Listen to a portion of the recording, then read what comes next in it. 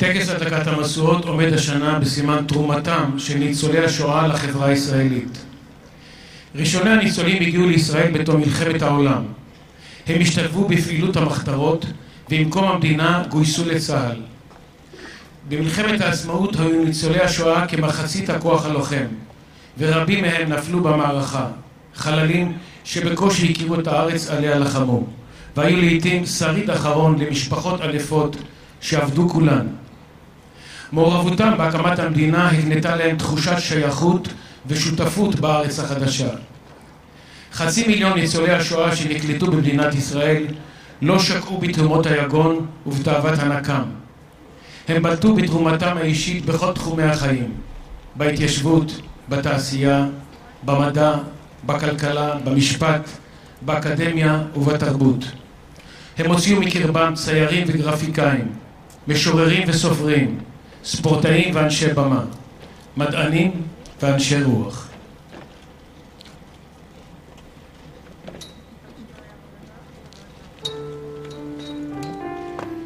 את מסורות הזיכרון יעלו ניצולי השואה בלוויית נכדיהם ומשמר כבוד של חיילות צה"ל.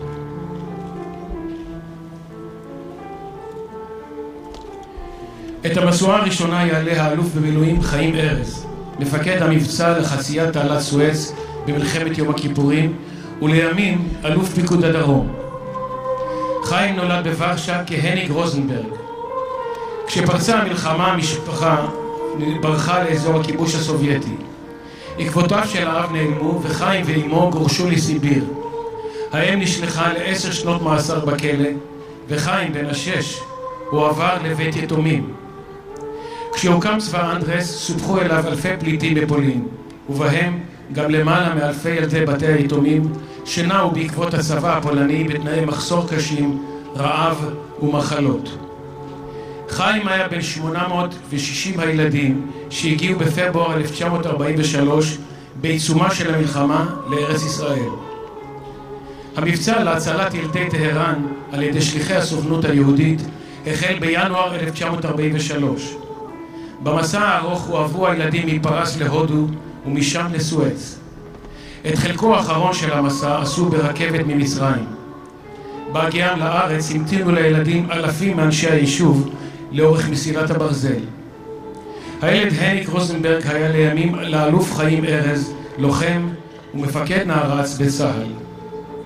עם הדלקת המשואה מהדהדות מילות שירו של נתן אלתרמן.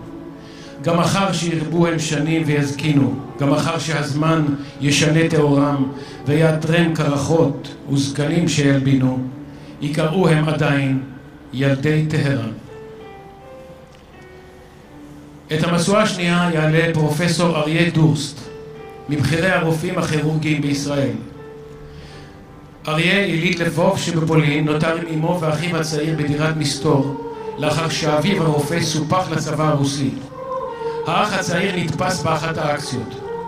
אריה ואימו נמלטו לוורשה וחיו בזהות שאולה של אשת קצין פולני. כשפרץ המרד הפולני בקיץ 1944 הסתתרו במרתפים ונמלטו מרחוב לרחוב דרך תעלות הביוב עד לשחרור העיר בינואר 1945.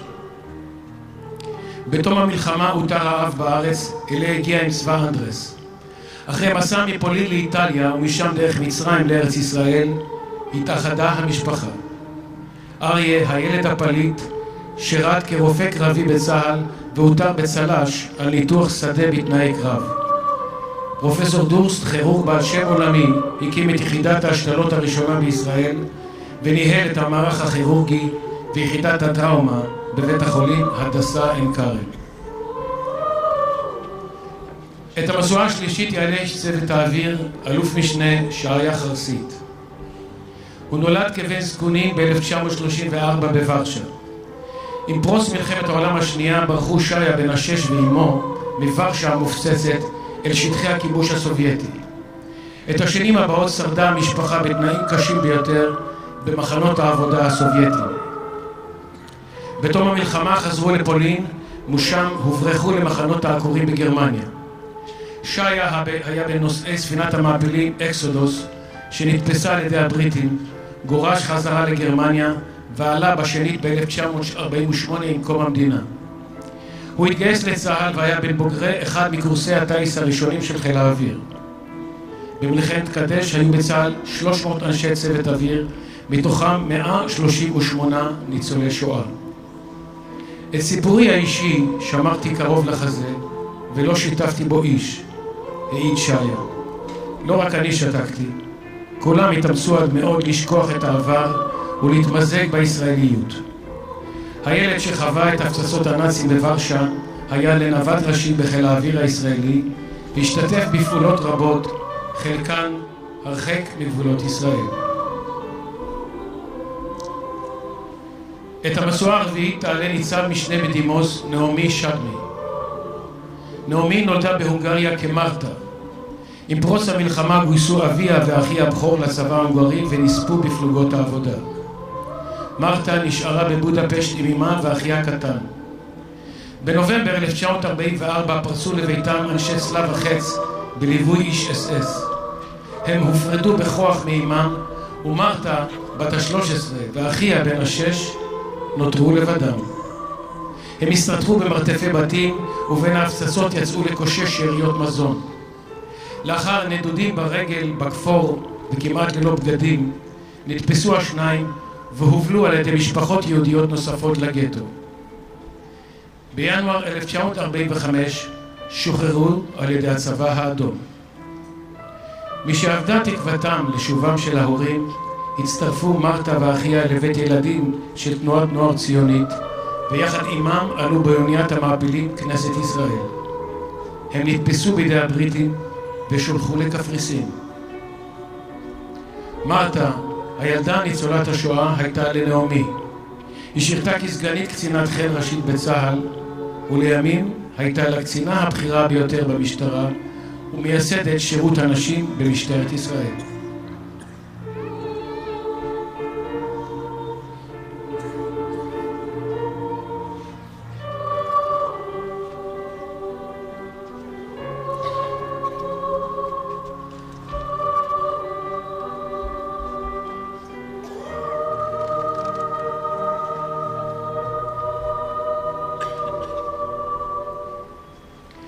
את המשואה החמישית יעלה שאול לדני, פרופסור אמריטוס באוניברסיטת בן גוריון, המחזיק עד היום בשיא העולם בהליכה למרחקים ארוכים. שאול נולד ב-1935 בסרביה. עם פרוץ המלחמה ברח עם משפחתו לבודפשט.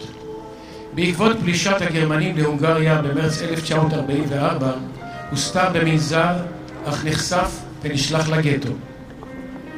במאי 1944 החל שילוחם של יהודי הונגריה לאושוויץ. מאות אלפי יהודים נשלחו למותם בתוך שבועות ספורים. שאול ומשפחתו היו בין ברי המזל שהצליחו להימלט מגורל זה באמצעות רכבת קסטנר.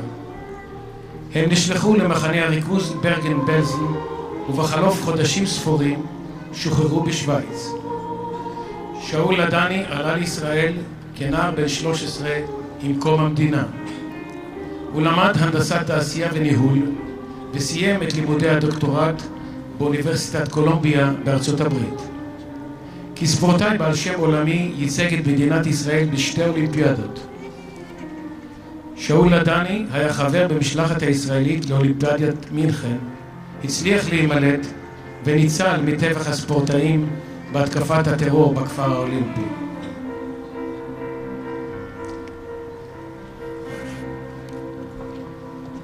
את המשואה השישית יעלה חתן פרס ישראל, המרצה והצייר דן רייזינגר, מעמודי התווך של העיצוב הישראלי. דן נולד ביוגוסלביה ב-1934. עם פרוץ המלחמה הסתתר בזהות שאולה כשהוא חי בפחד מתמיד וניצל בזכות אומץ ליבן של משפחות סרביות שסיכנו את חייהן. הוא עלה ארצה ב-1948 והיה התלמיד הצעיר ביותר בבצלאל. דן רייזינגר הטביע את חותמו לתרבות החזותית בישראל. בין הסמלים שעיצב, הלוגו המוכר של התיאטרון הלאומי הבימה, וסמלי חברות טבע, אל על, דלק ועוד רבים. הוא נודע בעיצוב כרזות מכוננות, ובהן שלח את עמי, והכרזה לציון חתימת הסכם השלום עם ירדן. לאחרונה הוצב פסל של רייזינגר בבודפשט, שהוקדש לזכרם של היהודים שנספו, שנספו בפלוגות העבודה, ובהם גם אביו של רם, של דן. כעולה חדש המדינה הייתה בשבילי פלא, העיד רייזינגר. היה חשוב לי להראות לעולם איך אנחנו נראים. את הביוגרפיה שלי ניתן לסכם בשלושה צבעים. הטלאי הצהוב, הצבא האדום ששחרר אותנו, והצבע הכחול, סמלה של מדינת ישראל, בה נולדתי מחדש. אות הגבורה, אות המופת ואות העוז של צה"ל עוצבו על ידי המעצב הישראלי, ניצול השואה.